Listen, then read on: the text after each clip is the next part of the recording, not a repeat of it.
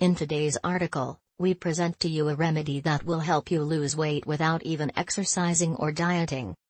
This remedy is actually a healthy mix of honey and cinnamon that will also improve your overall health.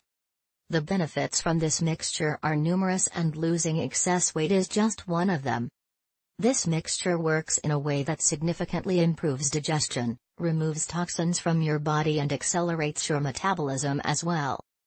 The combination of honey and cinnamon alkalize the body and also assist in the breakdown of fat. Cinnamon Cinnamon contains large amounts of highly potent polyphenol antioxidants. It assists in the process of absorption of nutrients and regulates the insulin production, therefore it is very effective in prevention of diabetes. Honey Honey being a natural sugar, not only provides a healthy source of calories but also helps keep your sugar cravings at bay. The honey is responsible for boosting the digestion and metabolism and it aid the fat burning process. Here's how to prepare the remedy.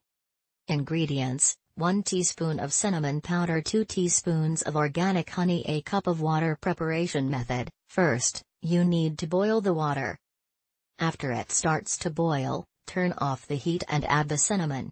Leave it to simmer for a few minutes. After it cools off and is lukewarm, add the honey. Mix the ingredients while doing so. Use Consume a glass of this mixture every in the morning on an empty stomach. The results will be noticeable soon as 10 days time. Continue this treatment for how long you feel like. It is perfectly safe to consume it every day and there are no side effects. In no time you will be amazed by the results of these amazing ingredients.